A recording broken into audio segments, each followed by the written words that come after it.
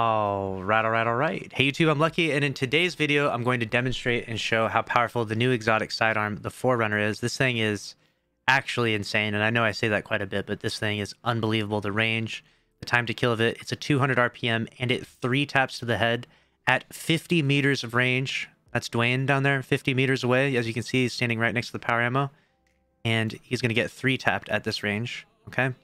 69 to the head, and he's dead just like that. And if you hip fire it, it'll actually fire even faster than that. So it has extremely high lethality, right?